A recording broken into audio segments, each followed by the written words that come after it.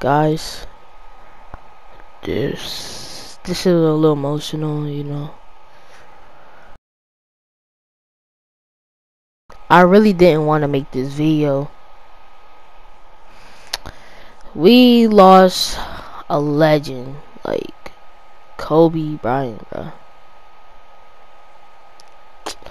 It's crazy. Everybody, it's like you can't save people now. It's it's like people just flying by so fast. He died at 41.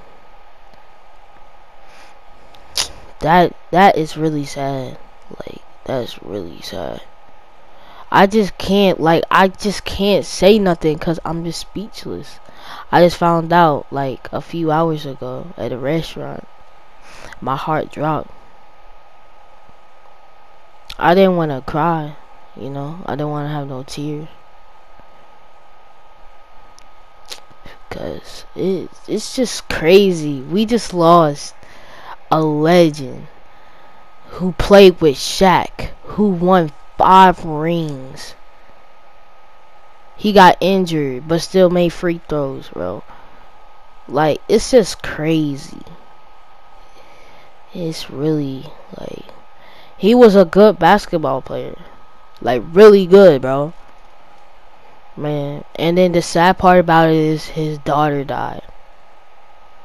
And that's, that's really heartbreaking, you know. It's, it's like, I can't it's just really sad for me. I just don't even know why, bro. We can't cry all day. Because we can't. If you cry, you can't do nothing. It's not to bring Kobe back. It's just to be tough for the NBA, bro. It's like, Mo, bro. Nickname. Oh my god.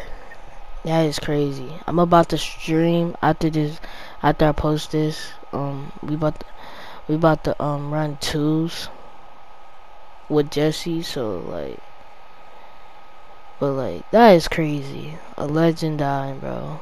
Like I can't. It's like we just went into 2020 and everything's happening. We got World War Three. Then we got Juice WRLD died last year. Nipsey Hussle. Juice WRLD back. Juice WRLD. Now Kobe Bryant, bro. Guys, make sure y'all put y'all prayers down, bro, cause I'm I'm kind of sad.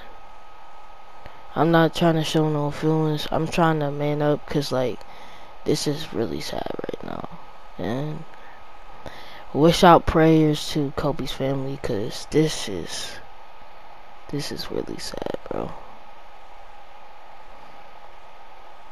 I'm gonna be sad, bro. Alright, guys. I'll see y'all later. Peace.